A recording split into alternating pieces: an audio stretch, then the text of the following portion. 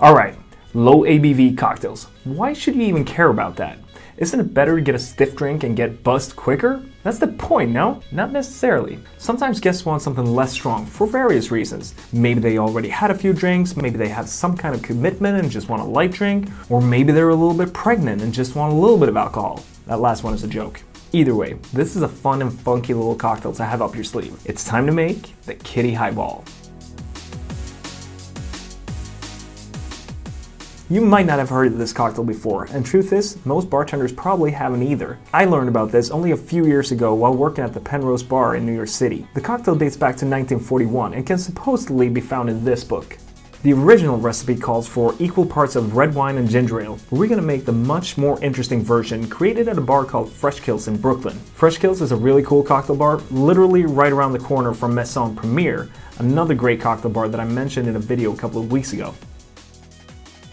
So for the base spirit, we're gonna need red wine. I just picked up a bottle of some cheap stuff. Just use whatever you have around. Don't go nuts, so save that screaming eagle for another day.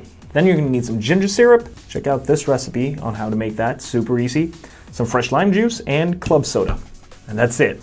All right, I'm gonna start with my ginger syrup. Three quarter of an ounce. Half an ounce of lime juice. And 2 ounces of your red wine.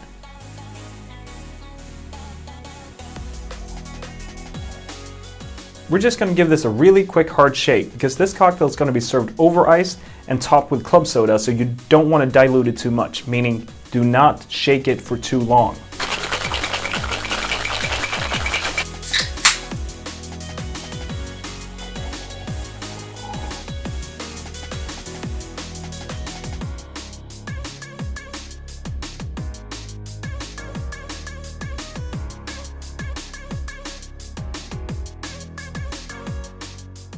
All right, let's try this little gem.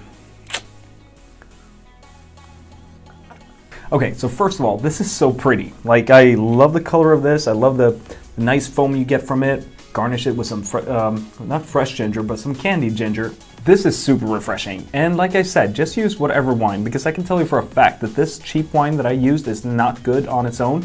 But in this cocktail, it's great. And you get a lot of fruit off of this cocktail because wine is made from grapes. Go figure. You get the spice from the from the ginger syrup, and the acidity from the lime is there to balance it out, and you know it's just really refreshing, really good. So I highly recommend you make this cocktail. All right, that's it for today. Make sure you make this cocktail, take pictures of it, post it on Instagram, tag me, subscribe, hit the thumbs up, and I'll see you next week. Cheers.